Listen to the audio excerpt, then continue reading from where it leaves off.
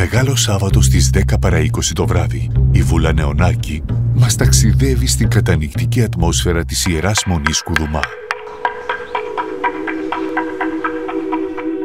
Μέσα από αφηγήσεις μοναχών γνωρίζει την ιστορία του μοναστηριού και αντιλαμβάνεται γιατί αυτό το αλλαργινό μοναστήρι είναι προσκυνηματικός προορισμός. Σε μοναστήρι αλλαργινό, Ιερά Μονή Κουδουμά, το Μεγάλο Σάββατο στις 10 παρα 20 στην Κρήτη TV.